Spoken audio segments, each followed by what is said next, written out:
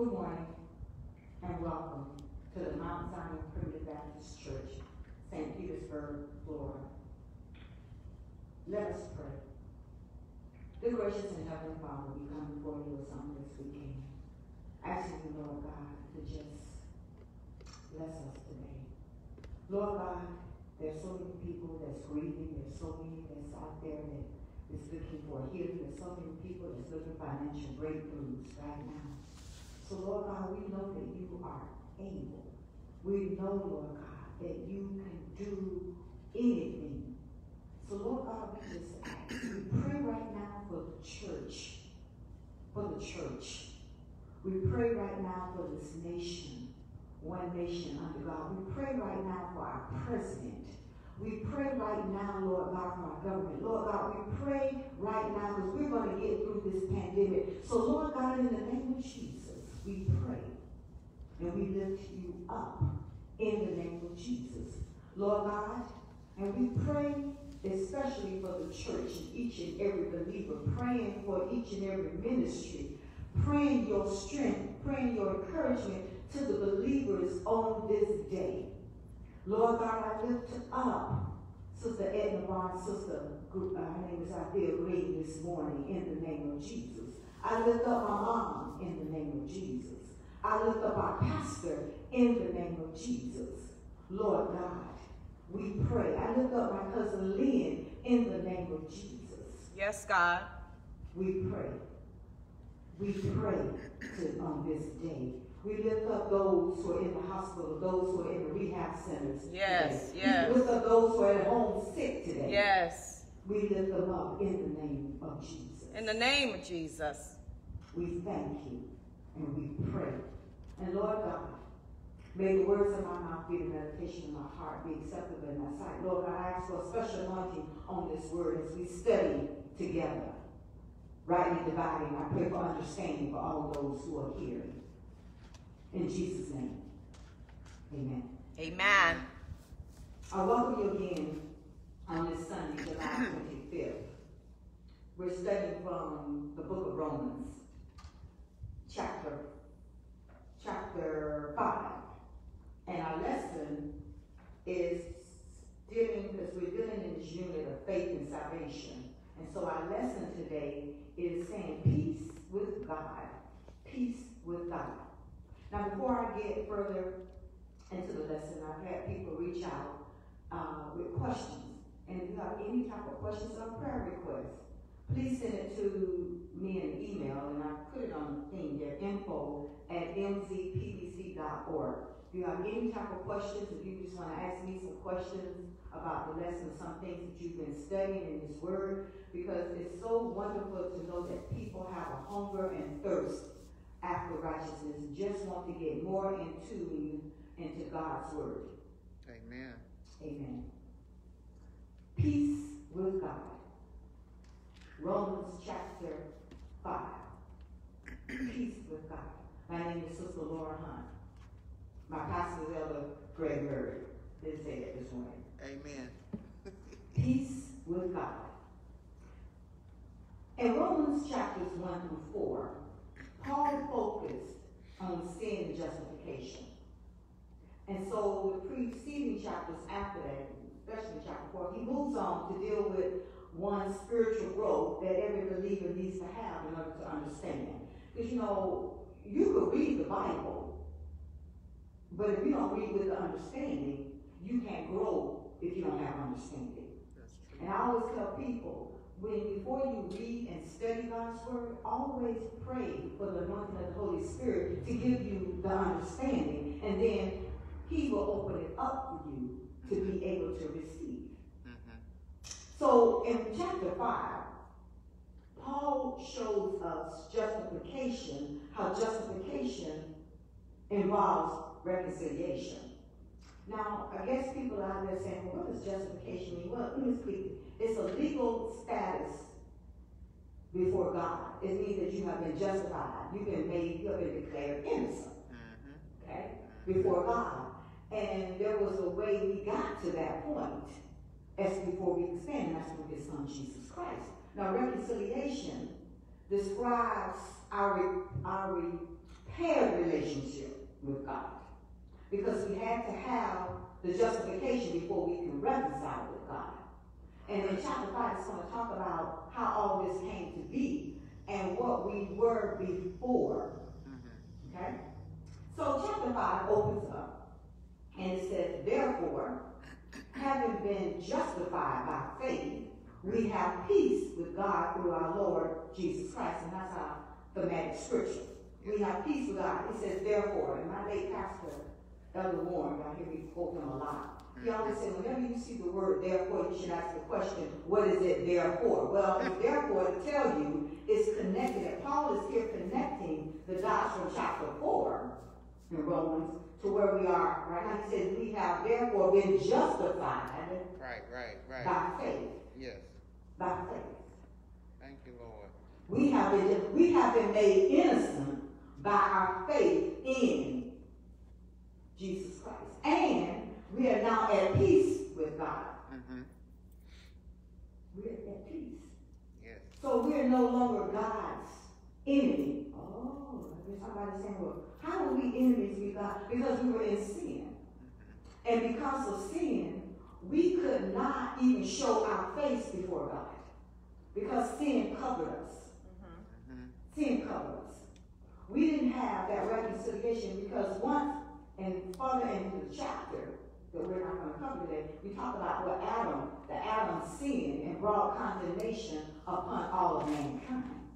Mm-hmm. So, but now he says, Paul is saying, based on our spiritual growth and our understanding, we are now justified by our faith in Jesus.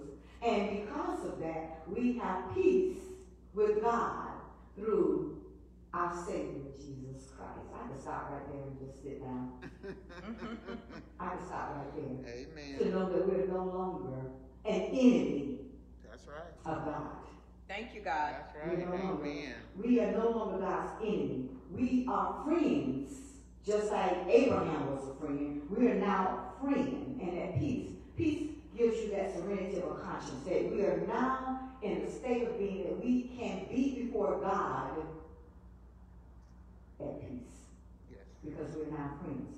He says, through whom we also have access by faith into this grace in which we stand and rejoice in the hope of the glory of God.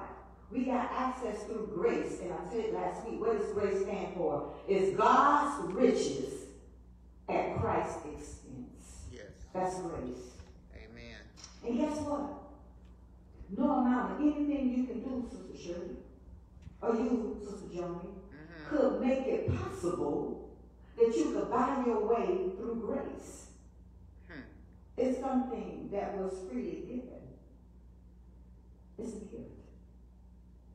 It's grace, God's grace.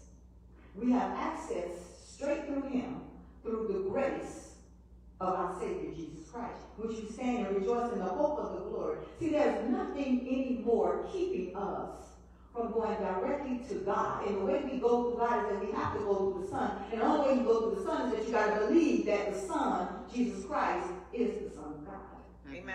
Mm-hmm. You go through Him. Mm-hmm. Mm-hmm. So we rejoice in the hope of the glory of God.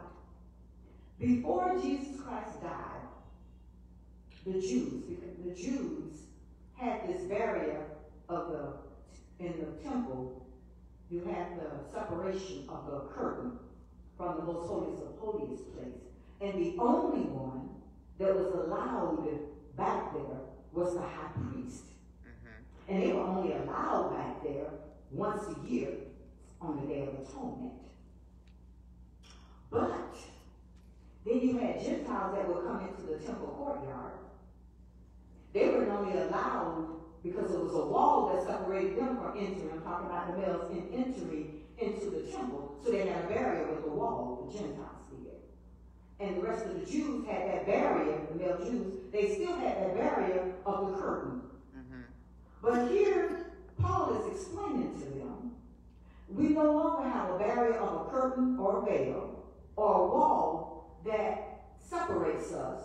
We can go directly to God ourselves through the Son, Jesus Christ. Mm-hmm. And we can rejoice in the hope and the glory of God. We ain't got to have no true confessions and take it over here, take it to the pastor, take it to the pope, or whatever. We can go straight to him. Because I'm telling you, there's been some of us had some midnight hours Mm. that we could just wait and say, I need to make an appointment with somebody Mm. To have a confession. My Lord. In the midnight hour when you're in pain, in the midnight hour when you're in need.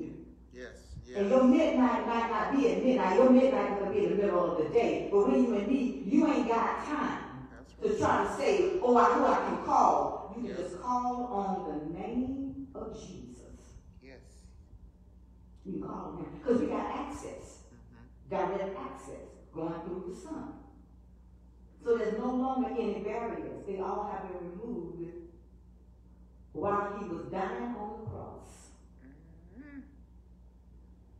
That veil was torn from the top to the bottom as he died. And it no longer exists when he resurrected himself. Now, verse 3 says, and not only that,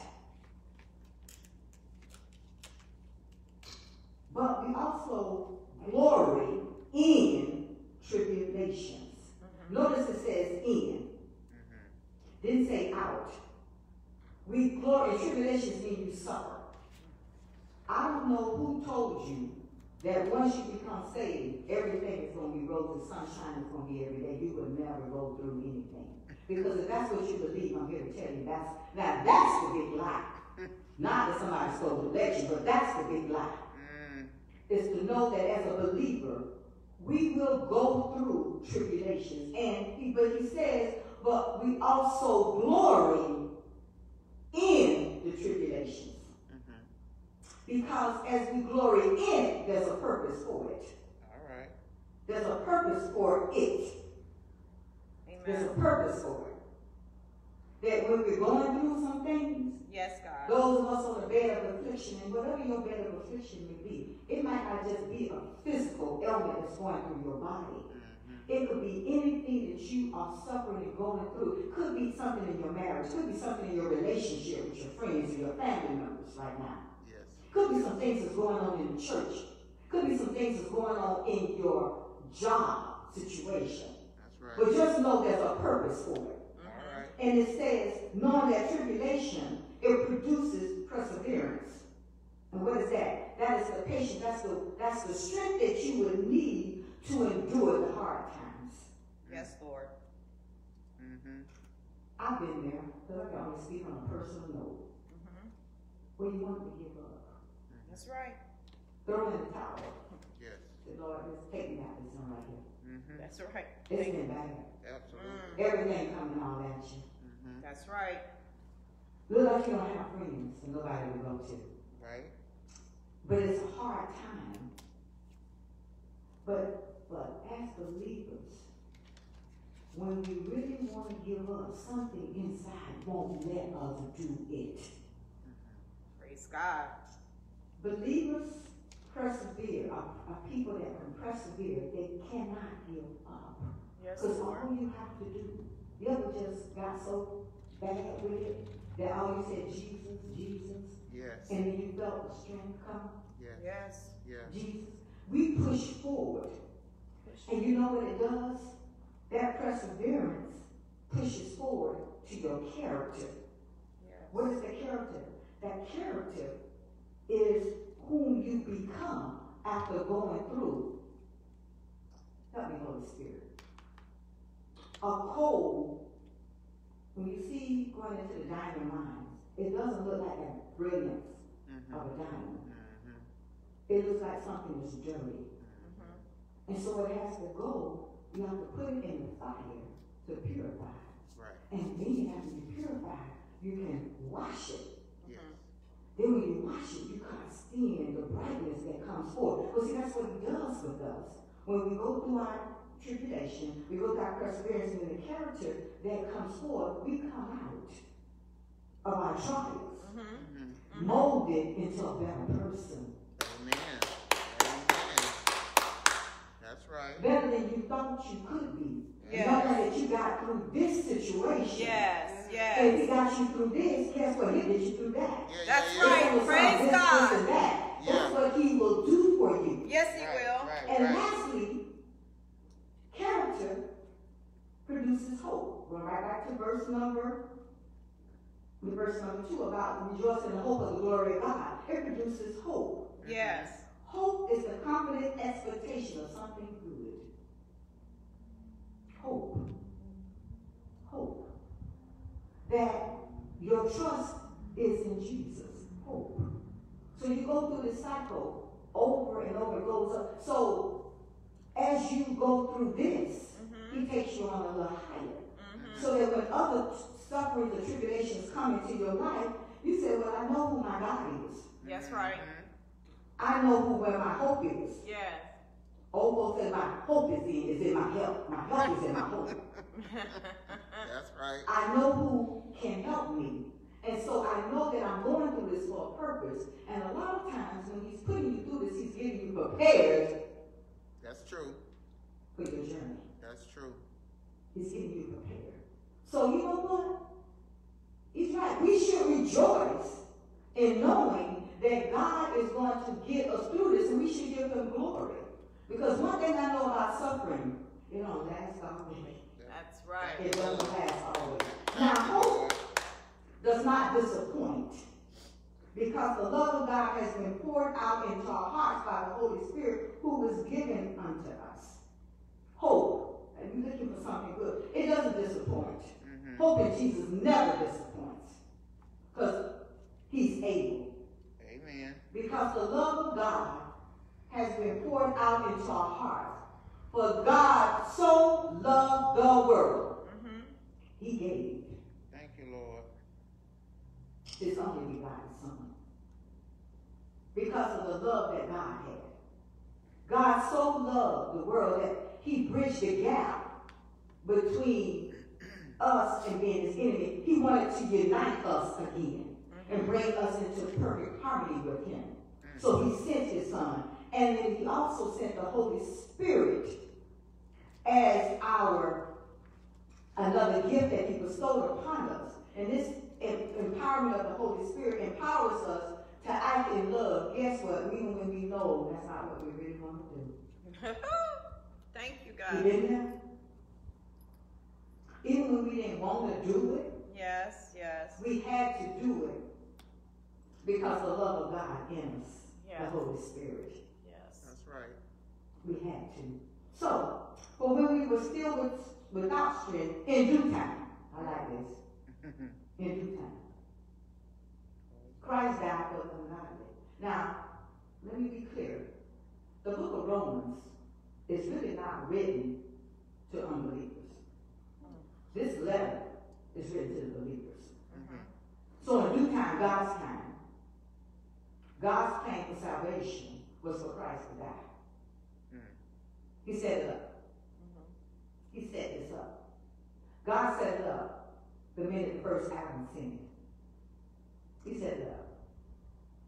In his time, not man's time, because man had nothing to do with this. In his time, Mhm. God set this up for the purpose of salvation, for the ungodly.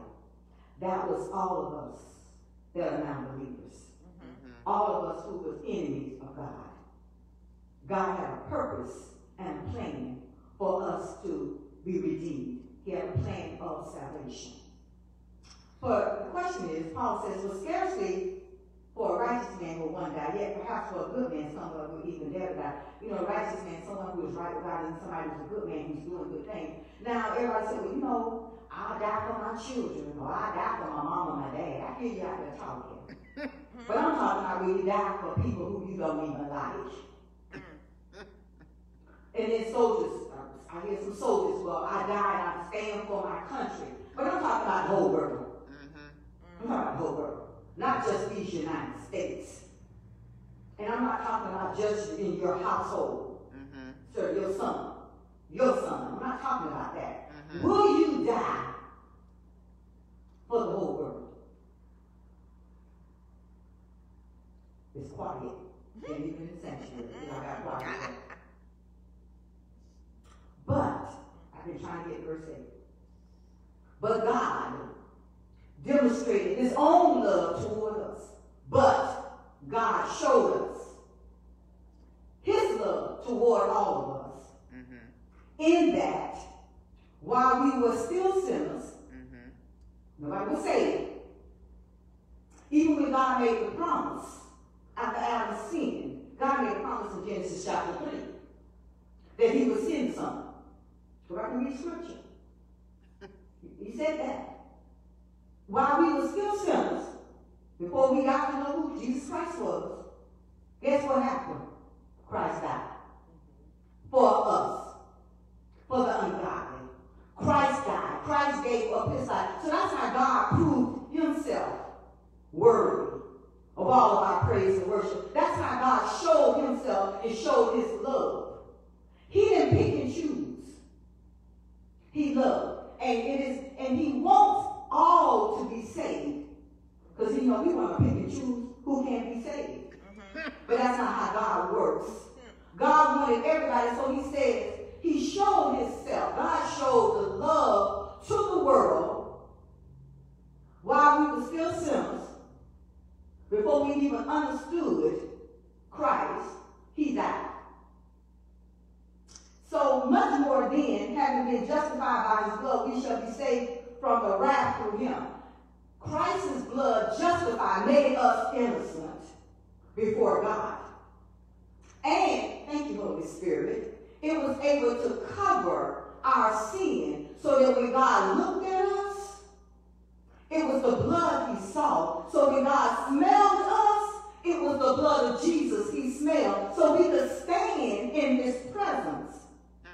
That's what it did. And it saved us from his wrath because the wrath would been we were going straight to hell. Mm. That was our condemnation from the first Adam. For if when we were enemies, we were reconciled to God through the death of his son. See, while we were enemies, we were reconciled. We were brought into harmony with God through Jesus Christ's death on the cross. It reconciled us back. And Christ's resurrection ensured that we would live new life with him with hope and eternal life. Is that simple? Mm. All this is what God did and joining us to have peace with him.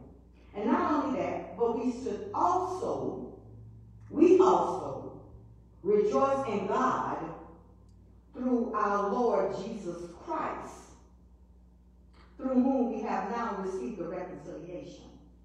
Rejoice. That word rejoice is having joy. I'm not talking about the emotion where you feel good right now. You say, oh, I got joy, joy, joy in my soul. I'm not talking about that. That's an emotion. That's an emotion Yeah. that flitters and fickle. That's just emotion. But the joy that we rejoice in is a constant sense of gratitude and praise for all, all that God has done and will do. Mm. That's the rejoicing I'm talking about. Having a constant gratitude. Rejoice and praise and worship. Rejoice unto God Almighty. Rejoice. That's a sense of gratitude. That's a constant. That's a constant because of His grace and His mercy. Mm-hmm. God has demonstrated and shown us. And read on further down in 5, you go back and read all of chapter 5. Because in chapter, in verse 15 of chapter 5, it talks about how Adam brought condemnation to the whole world. Mm. But how Jesus brought reconciliation for the whole world. Amen. That it, that it was Adam that brought sin, but it was Jesus who brought grace and mercy. It was Adam that separated us, but it was Jesus who brought us back together.